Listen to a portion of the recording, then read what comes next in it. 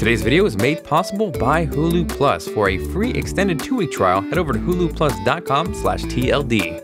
Hey guys, Jonathan here with TLD. If you guys remember, a while back I did a comparison of the current generation baseline crystal Crystalwell MacBook Pro, which features only Intel Iris Pro integrated graphics, and I compared that against the previous generation Ivy Bridge baseline MacBook Pro, which had dedicated GT650M graphics. Now I'm back with a comparison of those two models against the next tier up GT750M equipped MacBook Pro, which is also based off Crystalwell. Now before we jump into the actual performance, let's go ahead and compare the current generation MacBook Pros as far as pricing and what you actually get with each model. So for about 2000 bucks US, it's going to get you a 2 GHz quad-core i7 CPU, 8 gigs of RAM, and 256 gigs of PCIe-based flash storage. And like I mentioned previously, you only get integrated graphics with this model, no dedicated GPU whatsoever. Now for around 2600 bucks US, let's go ahead and see what that extra 600 bucks gets you.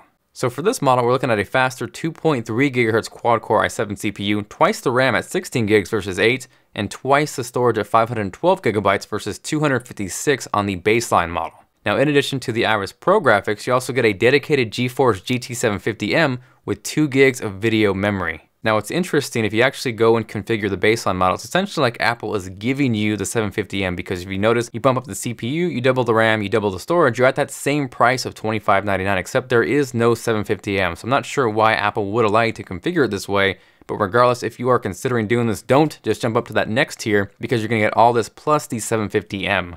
Now jumping over to performance, as we noted in the previous video, the Crystalwell Iris Pro only MacBook Pro held its own very well against the previous generation 650M Ivy Bridge MacBook Pro. Now as you can see, the Crystalwell GT750M MacBook Pro outperforms both of those with a multi-core score reaching nearly 14,000. The single core score wasn't as big of a difference, which is to be expected, but regardless, you can see it does outperform those two models. Jumping over to Cinebench R15, the previous generation Ivy Bridge MacBook Pro actually outperformed the Iris Pro Crystalwell MacBook Pro, but you can see the 750M MacBook Pro actually jumps on top of both those with a score of 603. Following that is Luxmark 2.1, and this is going to test OpenCL performance. This was actually pretty interesting as far as the results go. If you take a look at the 650M only, that scored around 144 K rays a second. If you jump up to the 750M, it wasn't much better, which comes in around 149. And if you notice, the Iris Pro actually outperformed both the 750M and the 650M. So the beauty of this model is not only do you have the 750M, but you have Iris Pro as well. So if you notice that last line of 847, that's actually what happened when I combined the Iris Pro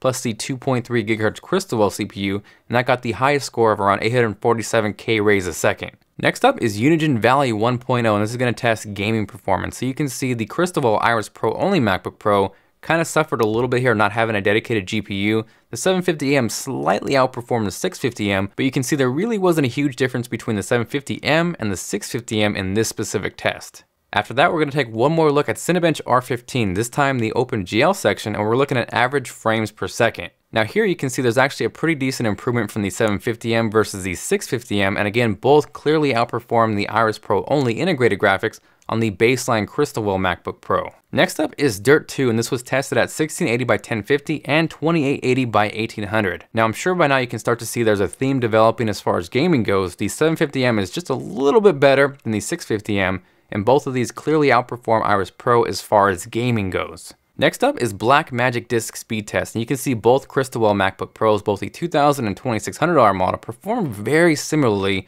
and both are a significant improvement over the Ivy Bridge 650M MacBook Pro. Following that is a 10.5 gigabyte file duplication. This is going to actually show you what those previous numbers mean in terms of real world performance. Again, you can see both Crystalwell MacBook Pros are very similar in performance, and are both significant upgrades against the previous generation MacBook Pro. Next up is the Driver Heaven Benchmark version 3.0. We're looking at Photoshop CC, and here you can actually see the Crystalwell 750M MacBook Pro outperforms the other two by a pretty significant amount. Following that is Aperture 3.5. What I did was take 10 raw photos, convert them into JPEG at 50% the size, and you can see all three models perform very closely here with the 750M MacBook Pro just coming out slightly on top. We'll go ahead and jump over to Handbrake, the 64-bit edition, and what I did was take a 1-minute MKV file, transcode that into H.264, and you can see the Crystalwell 750M MacBook Pro outperformed both models, but not by a whole lot in this specific test. Jumping over to iMovie 10.0, what I did was take a 3-minute 1080p project and export that. You can see there was around a 4-second improvement over the baseline Crystalwell MacBook Pro, and around 11 seconds over the previous generation 650M MacBook Pro. Jumping over to Final Cut Pro 10, this is where I saw a big difference with the 750M MacBook Pro I took a 7 second H.264 clip, retimed it down to 50%, stabilized it, added optical flow, and you can see the 750M MacBook Pro did that task much faster than both the baseline Crystalwell MacBook Pro and the previous generation 650M Ivy Bridge MacBook Pro. Moving on to more Final Cut Pro 10 tests, I took a 45 second H.264 clip, applied a blur, and again you can see the 750M MacBook Pro outperform the other two models by a significant amount. In my last set of Final Cut Pro 10 tests, I did two things here. I exported a 3 minute project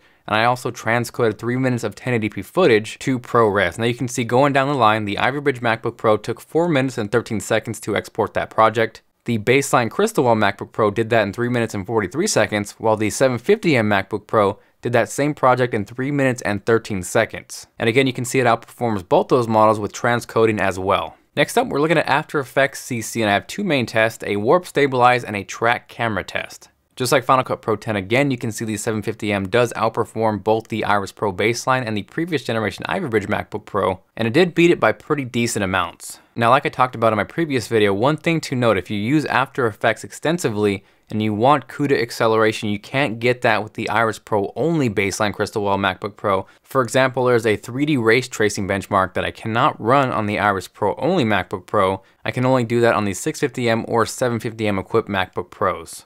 Conversely, on that benchmark, there wasn't a huge difference with the 750M versus the 650M MacBook Pro. Moving on to more Adobe, this time we're looking at Premiere Pro CC for a warp stabilized test. Again, you can see the 750M MacBook Pro clearly outperforms both the Iris Pro baseline and previous generation 650M Ivy Bridge MacBook Pro. Now that same 3 minute 1080p project I exported in Final Cut Pro 10, I did the exact same thing in Premiere Pro CC. Once again, you can see the GT750M MacBook Pro came out on top as far as performance goes. It outperformed the 650M model by about a minute in terms of export times, and just over 30 seconds better against the baseline Crystalwell MacBook Pro. Next up is temperatures. We're looking at degrees Celsius and a light load with Safari browsing and a heavy load during a Final Cut Pro 10 export. Now because these 750M and 650M are dedicated GPUs, you can see they're very similar in terms of temperatures go, and because the baseline Crystalwell MacBook Pro only has integrated graphics, it performs the coolest out of these three models. So hopefully these benchmarks help give you a better idea in terms of what you are looking for in a MacBook Pro.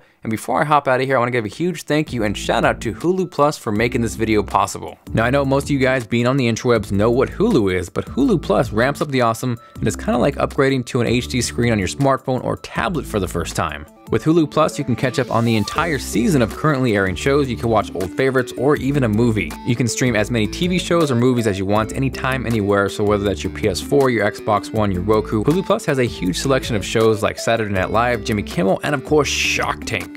They also feature exclusive original content like Behind the Mask and The Wrong Mans, and they were nice enough to reach out to me and offer those who watch TLD a free extended two-week trial by heading over to huluplus.com slash TLD. Now, a lot of you ask, how can you help support the channel? This is a super simple and easy way to do that. It allows us to put out the best possible content that we can and you score a killer deal at the same time. Make sure to use that link down below to let them know we sent you. Thank you guys very much for watching. Hopefully you enjoyed the video. If you did and you are feeling like being awesome, make sure to hit that like button. It is much appreciated. I think the summary here is if you own a 650M MacBook Pro, there's really no major reason to upgrade to the current generation MacBook Pro. I would wait till the follow-up from this one, which is going to be based off the Broadwell platform. Now conversely, if you're looking to buy a MacBook Pro for the first time or you own a much older MacBook Pro, it really comes down to how you're going to use your computer. So if you use After Effects, you do a lot of 3D work, you're probably going to want to opt for the 750M model. And as a bonus, you're going to get double the storage and double the RAM. Now if you don't really need that and you're fine with the 256 gigs of storage and the 8 gigs of RAM, you can see the baseline MacBook Pro actually performs pretty well for not having any dedicated graphics. I think really the downside with the integrated only graphics is you're going to take a hit with both gaming and 3D work. So if you do those and you want to do that with your computer, you're probably going to want to either opt for the 750M MacBook Pro or take a look at a previous generation refurbished 650M MacBook Pro, all of which I will have linked down below. Again, this is Jonathan with TLD. If you guys have not seen my Mac Pro coverage yet, that is linked right here, and I will see you guys later.